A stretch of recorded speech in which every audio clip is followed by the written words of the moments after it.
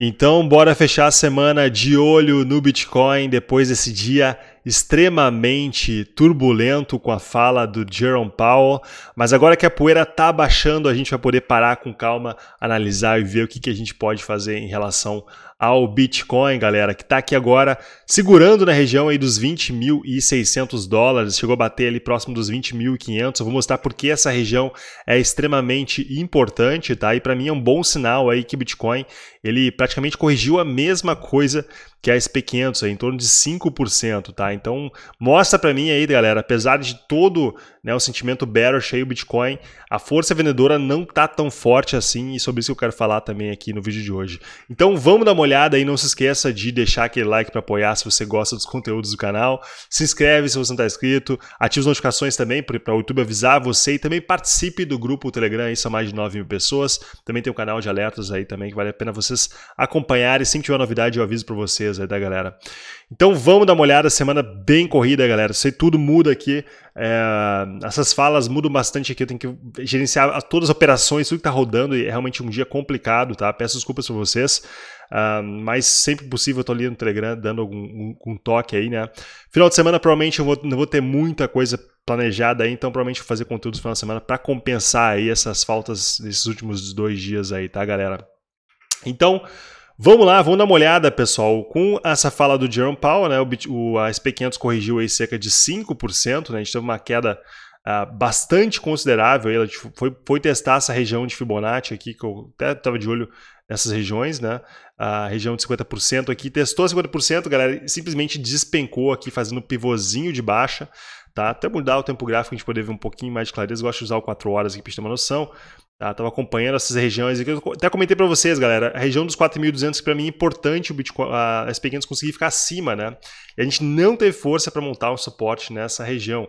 Tá? Fizemos esse pivô de baixa, tá? Então para mim que esse SP500 agora nessa, nesse, nessa situação aqui, galera, eu tô de olho, vou mostrar para vocês o alvo que eu tenho para esse SP500 aqui agora, tá? Nesse pivô de baixa aqui agora, tá? Esse primeiro, primeiro alvo aqui, Fibonacci projeção, leva as pequenos para essa região aqui próxima dos 3.986. Tá? Vamos botar 4 mil pontos aí para SP500. Tá? A gente perdeu essa região, que é uma região extremamente importante. Eu comentei para vocês que é um volume, bastante volume de negociação. Tá? Então, SP500, na minha opinião, vai corrigir mais aí, tá, galera? Acredito que vai especificar bem mais aí Uh, essa, essa potencial aumento da, da taxa de juros para 0,75, né, ou 75 basis point aí, né, uh, para 15 de setembro. Então, eu acho que isso aí já está sendo precificado aqui agora nesse momento, tá? E uh, então, se o, o, Banco Central americano manter isso aí, né, não aumentar para 1%, não fazer algo né, muito assim fora do normal, acredito que o mercado vai estar tá precificando aqui agora, tá? E tudo saindo bem no dia 15 de setembro aí, dentro do planejado, acredito que o mercado pode dar uma, uma respirada aí, tá? Mas agora, nesse momento, a situação né, tá complicada. O, acho que a fala do Jerome Powell, na minha opinião, foi é uma fala que ele falou que deveria ter falado, tá? Acho que não teve nenhuma ensabonetada, né? Como o pessoal costuma falar. Eu acho que a fala foi.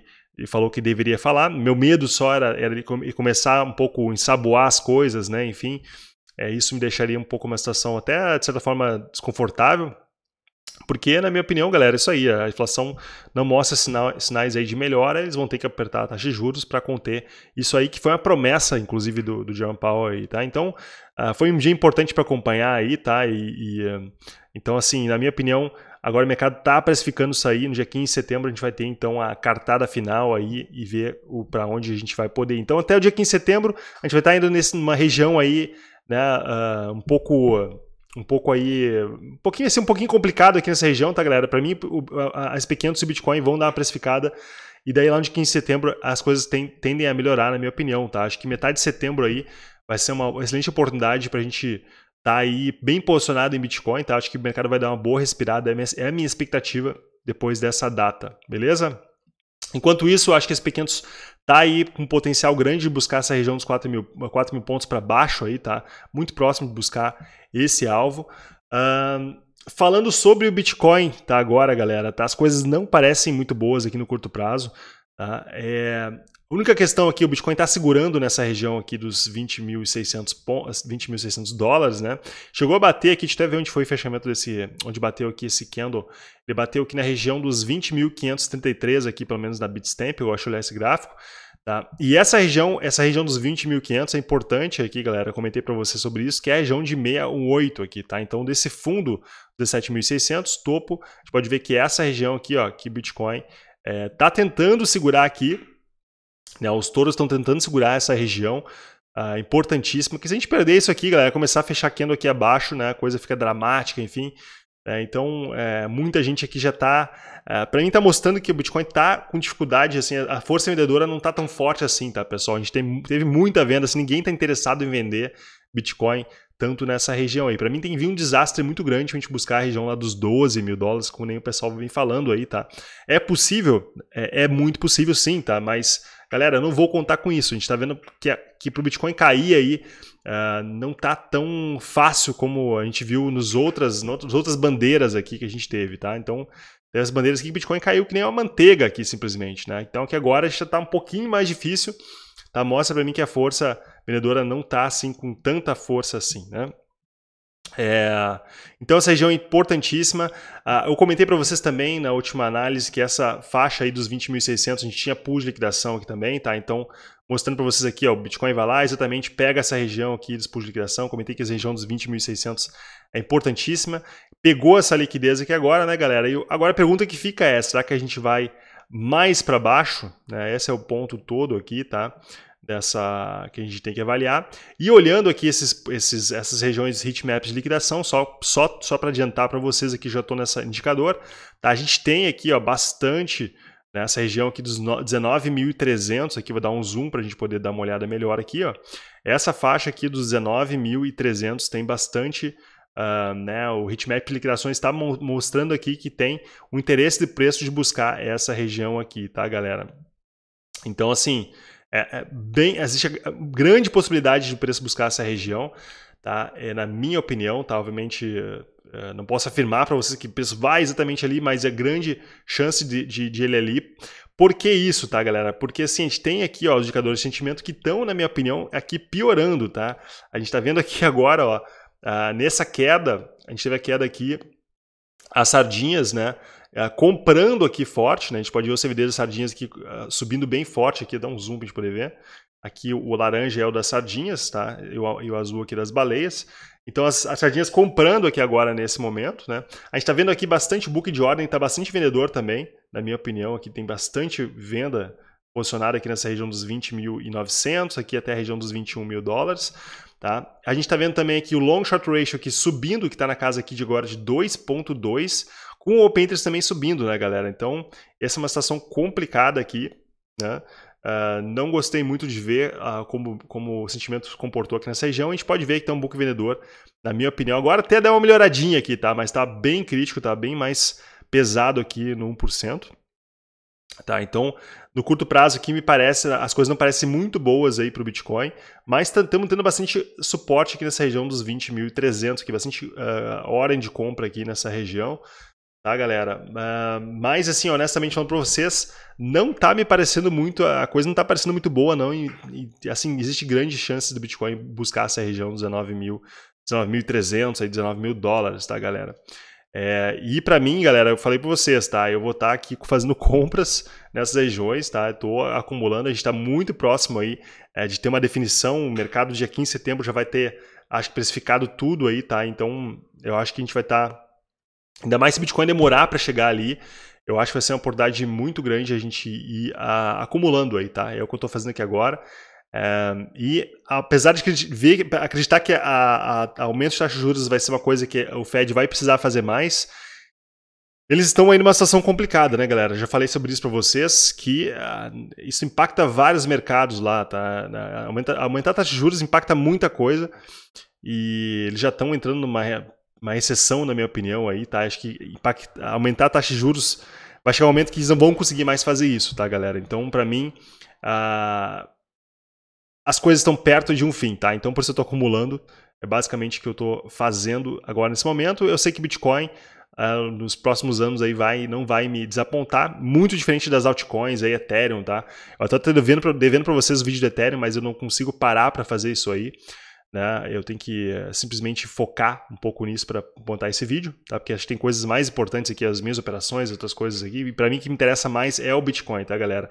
Você comprar Bitcoin, é, se você entender os fundamentos do Bitcoin, com certeza você vai fazer uma compra e mesmo que a empresa corrija aí, vai corrigir para, sei lá, 16 mil dólares, enfim, que seja, você sabe que não importa, o Bitcoin vai em algum momento voltar e a minha expectativa é ver o Bitcoin testar de novo a máxima histórica. Pode ser que demore um tempo aí, mas é uma compra tá, que eu sei que ninguém vai tirar de mim, vai estar tá lá na minha né, guardado e, e com certeza você não vai é, se desapontar aí, né? Ao contrário das altcoins, shitcoins e Ethereum, que é algo bem cabuloso aí, tá, pessoal? É, então, assim, Bitcoin, para mim, muito possível a gente pegar aqui essa região aí dos, dos, dos 19.300 e 19 aí, tá, galera? Olhando os indicadores aí e também os, os é, análise de sentimento e também esses indicadores aqui da High Block, tá? É, então, o que a gente pode fazer aqui agora nesse momento aí para o Bitcoin, né? Uh, vamos dar uma olhada aqui agora. Pessoal, basicamente aí, ó, é, na minha opinião, tá? É buscar nessa situação toda do, do, agora do mercado aqui é buscar a operação aí de short, né? É o que dá para fazer uh, em paralelo aqui, né? Acumulando Bitcoin, estou botando posição spot acumulando Bitcoin e buscando no é, mercado futuros aí, né? Fazendo short pro Bitcoin, tá? Eu comentei para vocês aí nas últimas análises que eu estou fazendo isso, porque mercado futuros eu vou estar operando ali, eu tenho meu stop, tá? É muito mais fácil abrir minhas, minhas operações, enfim, eu gosto de, de operar futuros, tá? Mas a minha banca estou posicionando mais aí Bitcoin, acumulando Bitcoin, essa é a minha estratégia, tá? E só lembrando vocês também, né? Você já sabe que a Prime SBT está apoiando o meu canal, então se você quiser aproveitar a promoção da Prime SBT, vou deixar o link aqui abaixo na descrição, comentário fixado, você pode criar sua conta e ganhar até 7 mil dólares de bônus de margem adicional para você operar na corretora, tá? Vale bastante a pena, dá uma olhadinha na Prime SBT, é, faça o depósito, conhece, também tem copy trade lá bacana, tem que fazer um vídeo para você sobre isso também, tá? Tô devendo vários vídeos aí, eu sei disso corretora bacana que está apoiando meu canal para fazer cada vez mais conteúdos aí, tá? Então dê uma olhadinha aí com essa Prime SBT. Qualquer dificuldade que vocês tiverem com dúvidas da corretora, tá? Ou então é, uh, quer pegar o bônus, não sabe como fazer, pode mandar mensagem para mim que eu estou ajudando o pessoal individualmente. Né? Se você for meu afiliado aí é, na Prime SBT ou qualquer outra corretora, pode mandar mensagem para mim que eu tenho uh, contato direto com o pessoal aí e posso ajudar vocês aí no que for necessário, tá, galera? Então, pessoal, relação ao Bitcoin aí, tá basicamente buscando operações de short. Uh, vamos olhar aqui então, baixar por 4 horas. Tá, eu acho que essas regiões aqui que o Bitcoin, essas regiões se reteste desse canal aqui, ó, próxima região dos 21.100 aqui, mais ou menos, pessoal. Eu acho que se o Bitcoin voltar a testar essa região que tiver resistência, né, a gente pode buscar mais aí, abrir operação de short, tá? Buscar abrir novas operações aí, tá? Eu acho que a possibilidade, a chance maior, na minha opinião, é do Bitcoin buscar essa região dos 19.300, que eu vou estar tá acumulando também aí, né? já aviso para vocês. E para mim, a gente pode fazer armadilha bem, bem parecido do que a gente viu ali no, uh, lá em julho de 2021, tá, galera? A gente fazer aqui um falso rompimento desse fundo 17.600 aqui, tá? Então, basicamente, como o mercado funciona é assim, né? Você tá... As pessoas estão comprando, estão perdendo dinheiro, perdendo dinheiro, e chega um momento que a pessoa fala assim, tá, Chega de perder, agora não vou mais, eu vou vender tudo e não quero saber mais esse negócio. Quando as pessoas desistirem, vender esses bitcoins baratos aí vai ser o momento que o mercado vai fazer elas perderem mais ainda, porque, na minha opinião, essa pernada maior que a gente vai ter aqui agora, nesse momento, na situação que está o Bitcoin, pessoal, vai ser a pernada para cima aí, tá? Então, é o momento a gente estar tá acumulando e ter paciência, tá?